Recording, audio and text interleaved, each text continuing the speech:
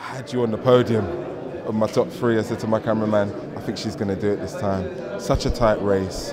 It's the unfortunate position to finish, isn't it, fourth? But do you remember much from the race? Not really. I think it was a race which was okay.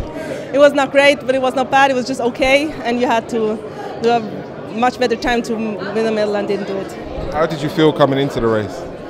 Uh, it was I was a lot better than in the semifinal. Um, it was a little bit cooling down, and that felt good. It was the second race in the evening, so it was a lot better. I was very nervous, but in a good way. I need that, but it was. I felt good. It was just not the best race, and I had the best race. it's one of those days. You've had such a great season. What's been behind your form this year? Why has it been so good? Apart from today, of course. Uh, I changed my coach in uh, October, and I think I still, uh, yeah, I was. Oh, sorry.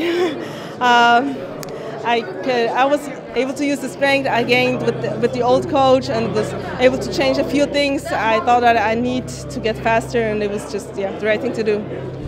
I mean, you haven't managed to get a medal here, but you're heading in the right direction. Next year is going to be a great year for you, isn't it?